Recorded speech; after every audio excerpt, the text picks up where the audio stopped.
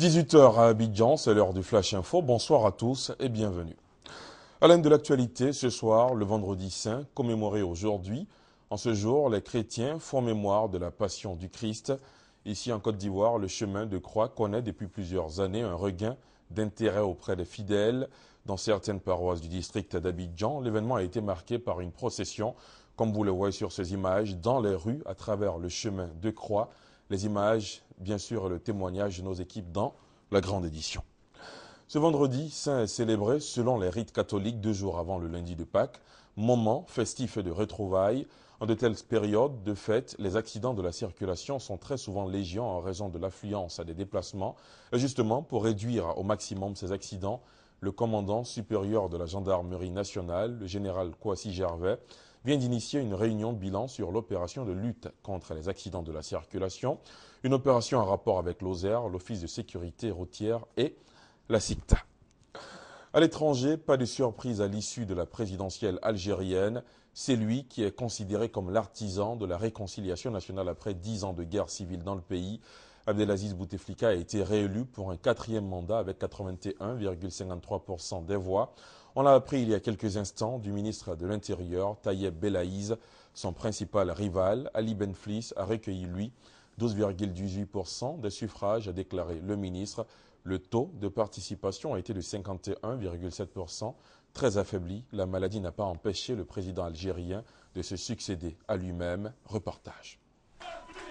Les bureaux de vote sont à peine fermés qu'on est déjà dans la préélection. Ali Benflis, candidat à la présidentielle algérienne, est un homme sans illusion. Pour lui, le scrutin n'est qu'une mascarade.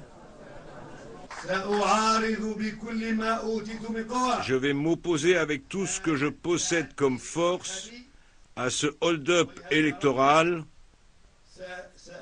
et pour cela, j'userai de tous les moyens politiques pacifiques.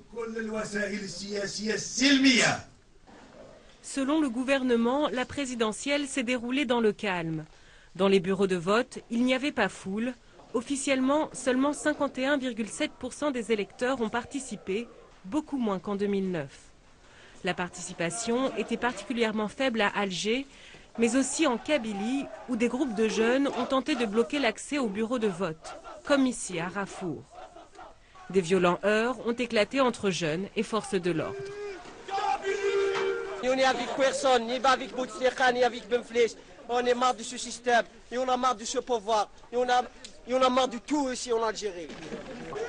Au total, 70 personnes ont été blessées jeudi en Kabylie, où moins d'un électeur sur quatre a voté. L'Algérie est divisée en deux entre partisans de Bouteflika qui crient déjà victoire et ceux qui contestent les résultats avant même leur proclamation. C'est surtout le silence de l'immense majorité des Algériens qui aura marqué cette élection. En bref et en image, ces troupes de l'armée sud-soudanaise qui ont été déployées autour du camp de réfugiés des Nations Unies à bord, au Soudan du Sud. Hier, le site a été attaqué par des hommes armés. Au moins 58 personnes sont mortes et des dizaines d'autres ont été blessées, essentiellement des civils qui s'y étaient réfugiés pour fuir les combats entre l'armée et les rebelles. Deux jours après le naufrage du ferry Sewol au large de la Corée du Sud, il reste peu d'espoir de retrouver des survivants dans la coque retournée du navire où les sauveteurs n'ont toujours pas pu pénétrer en raison des courants violents et de l'eau trouble. Sur les 475 personnes qui avaient pris place à bord, 352 étaient des lycéens. Au total, 179 ont été secourus, saines et sauves, et 268 étaient toujours portés disparus. Les sauveteurs ont pu empêcher 28 corps dans la matinée du vendredi 18 avril. Après deux jours d'efforts infructueux donc des plongeurs, les autorités sud-coréennes prévoyaient d'envoyer un petit sous-marin sans équipage euh, explorer l'épave.